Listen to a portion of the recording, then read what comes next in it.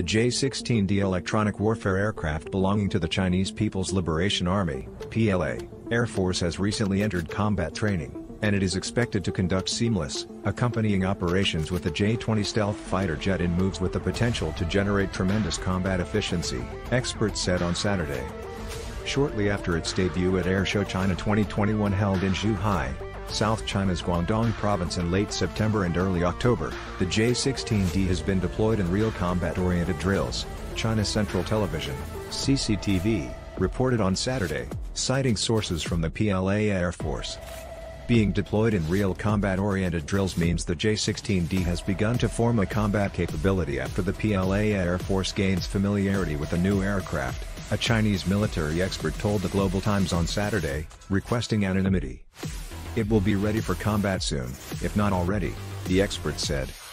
Specialized in electronic warfare, the J-16D is the latest class of domestically developed J-16 fighter jet. It is expected to accompany other warplanes seamlessly and enhance the PLA Air Force's capabilities in carrying out missions under informatized situation by establishing a complete aviation electronic warfare system.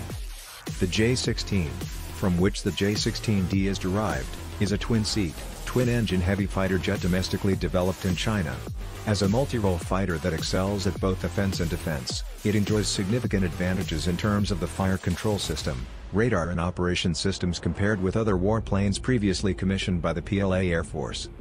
The biggest difference between the J-16D and the original J-16 is that the J-16D can carry a wider range of equipment, including the small pods on the aircraft's wingtips and the large pods under the aircraft's wings and belly, CCTV quoted Chinese military expert Wang Mingzhi as saying.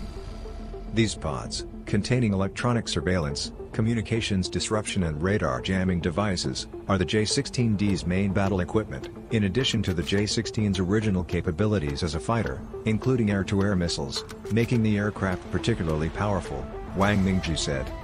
In real combat situations, electronic warfare aircraft like the J-16D can accompany other warplanes and provide them with electronic warfare support, for example, conducting electronic jamming or deception, Wang Yanan, the chief editor of Beijing-based Aerospace Knowledge magazine, told the Global Times in a previous interview.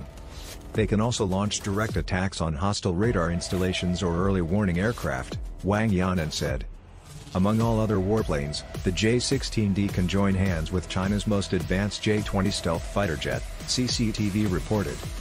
Wang Mingzhi said that, both the J-16D and the J-20 are designed to disrupt hostile radar assets. While the J-16D suppresses radars, the J-20 evades them. When the two aircraft team up, it would